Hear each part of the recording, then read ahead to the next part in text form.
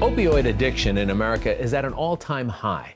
According to the Centers for Disease Control and Prevention, 91 Americans die every day from opioid overdoses. Here in New York City, last year saw the highest number of overdose deaths on record. Over 80% involved an opioid drug.